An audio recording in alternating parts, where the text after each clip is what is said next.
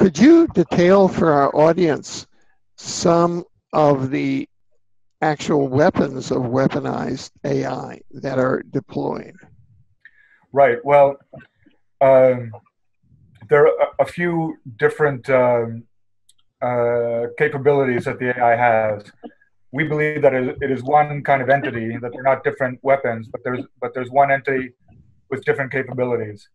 Um, uh, these capabilities can include what is commonly refer referred to as uh, chatterbot torture.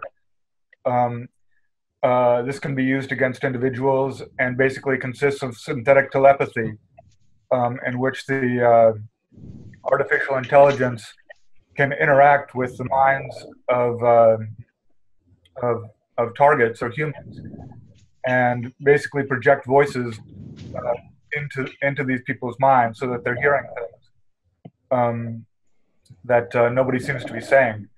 Um, this can be a means of torture. It can be a means of uh, programming, of, uh, for example, assassins. We think that kind of thing has been going on.